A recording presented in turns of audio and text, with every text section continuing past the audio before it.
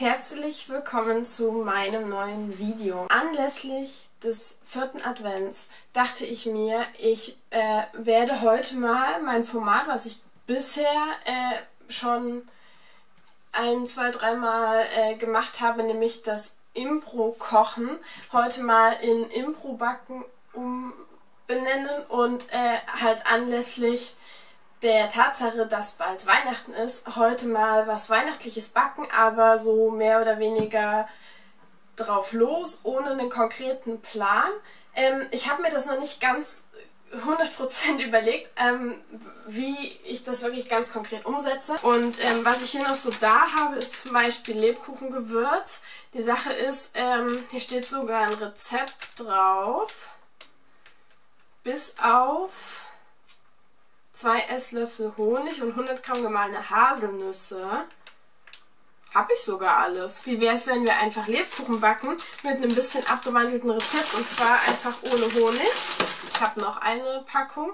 Äh, mindestens haltbar bis 2021, das heißt, wir müssen die jetzt auch verwenden, weil die gefühlt äh, habe ich die in Chemnitz gekauft und das ist schon ein ganz Stück her, dass ich da gewohnt habe. Ja, wir machen abgewandelte Lebkuchen. Ich freue mich jetzt schon drauf. Ich bereite hier mal alles soweit vor. Dann positioniere ich die Kamera mal um und dann nehme ich euch mit. Ich denke, dass ich so zwei oder drei Varianten machen werde und die dann einfach vergleichen werde. Die Sache ist, ich werde diesen Grundteig erstmal vorbereiten ähm, in einer Schüssel und es dann dritteln. Also, falls es so funktioniert. Ja, ach, ja, ja, das wird schon. Ich habe eh nur eine große Schüssel. So, Waage haben wir auch. Und dann legen wir los mit 300 Gramm. Also wir haben ja die doppelte Menge, machen wir...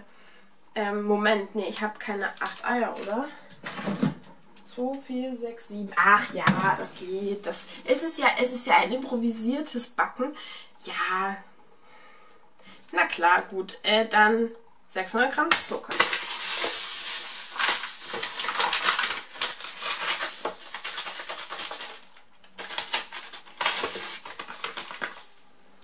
600 Gramm Zucker ist ja ganz schön viel. Fällt mir gerade so auf.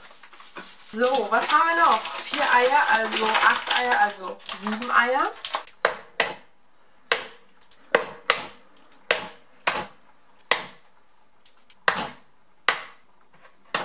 Als nächstes äh, zwei Päckchen Vanillezucker.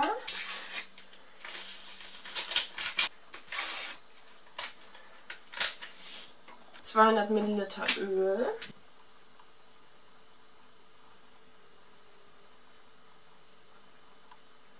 Vier Esslöffel Honig. Ich dachte mir vielleicht, wir können ein bisschen Vanillepaste ranmachen. Jetzt nicht vier Esslöffel, weil das ist ungefähr die ganze Tube und dann schmeckt es nur danach.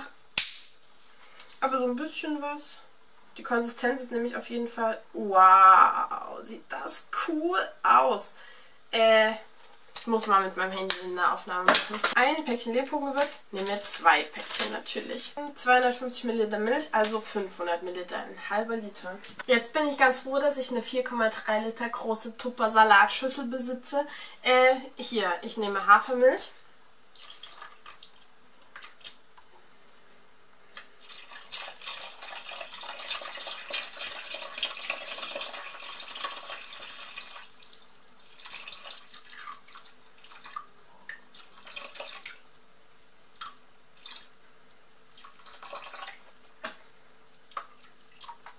350 Gramm Mehl, also 700 Gramm Mehl. Scheiße, wird das viel. Ich bin hier bestimmt dann noch 10 Stunden am Backen, ey.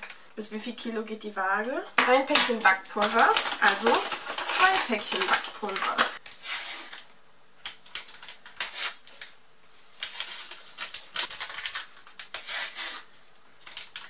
Ich weiß jetzt schon, was ich heute zu Mittag esse.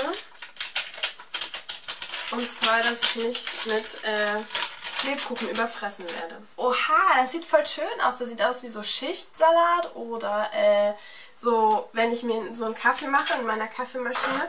Jedenfalls werde ich das jetzt erstmal zu einem Rührteig verarbeiten. Dann werde ich drei Portionen da machen. Dann muss ich jetzt erstmal rechnen. Also es fehlen insgesamt an dem Teig noch 200 Gramm irgendwas. Hey Siri, was ist 200 durch 3. 200 geteilt durch 3 ist ungefähr 66,6666. Dann werde ich jeweils 66,6666 Gramm etwas noch da hinzufügen. Aber jetzt erstmal mixen.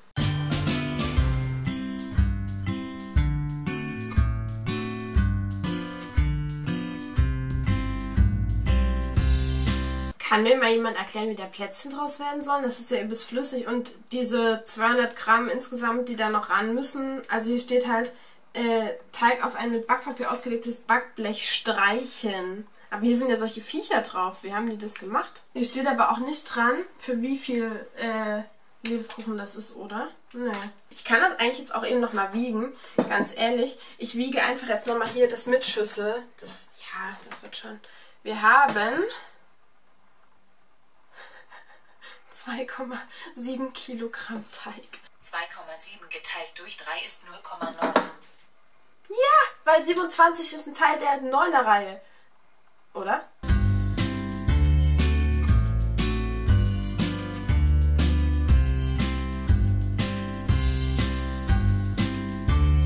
Und zwar machen wir jetzt hier äh, 66,66 ,66 Gramm Speisestärke ran.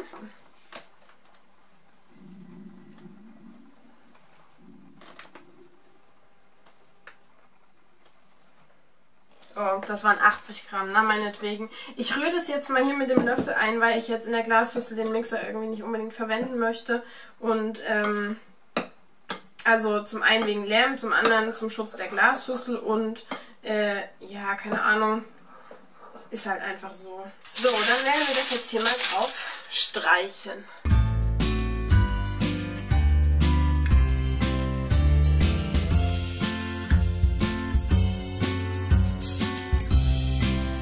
Nummer 2, das wird ja mit dem Mehl, habe ich mir so gedacht. Also ich könnte es vielleicht noch ein bisschen verfeinern mit abgeriebener Zitronenschale. 100 Gramm.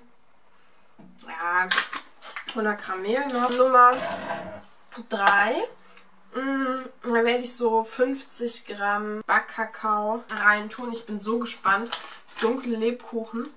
Vielleicht gibt es das und ich bin einfach gerade nur blöd. Also das sieht auf jeden Fall super aus. Ähm, und riecht auch voll gut. Ich muss das nur ganz schön noch verrühren, weil dieser Kakao noch richtig Klümpchen macht. Hey Siri, stelle einen Timer auf 20 Minuten. Der Timer ist auf 20 Minuten gestellt.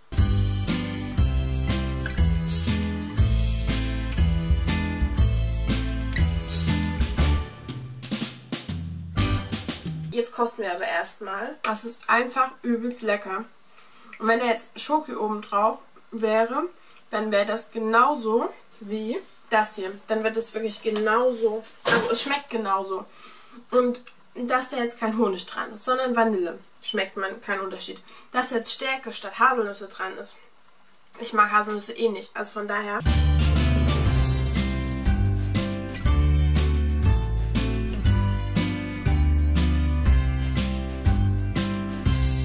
Man könnte auch sagen, das nächste ist ein Lebkuchen-Brownie. Das ist der ultimative Weihnachtsbrownie.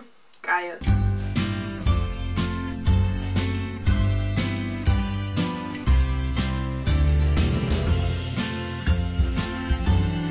Also das ist jetzt die Sorte mit Zitrone und da mache ich keinen Puderzucker drauf und ich verkoste das jetzt. Also es ist sehr lecker. Ich bin der Meinung, es schmeckt nach Zitrone. Es kann natürlich auch Einbildung sein, aber es ist auf jeden Fall sehr, sehr lecker. Und ähm, ich werde das jetzt eben noch äh, wieder abwiegen, damit ich dann äh, weiß, wie viel es insgesamt ist. So, und damit haben wir das Ergebnis. Es sind 2,2 Kilo äh, fettiges Gebäck. Ähm, es waren ja über 3 Kilo Teig, aber es ist ja logisch, dass da ganz viel Flüssigkeit beim Backen verdampft. Das ist ja auch der Sinn des Backens eigentlich, dass sich der Teig, also die Zutaten, die festen Zutaten miteinander verbinden die flüssigen Zutaten ähm, dafür sorgen, dass sich das verbindet und dann aber äh, überschüssiges Wasser verdampft. Meine Definition vom Backen. Ich hoffe, das Video hat euch gefallen. Mir hat es unglaublich viel Spaß gemacht und ähm, ich wusste am Anfang wirklich nicht, in welche Richtung es geht und deswegen, äh, also finde ich, ist, war das jetzt absolute Improvisation und gerade auch ähm, diese drei verschiedenen Versionen. Ich finde alle sehr lecker.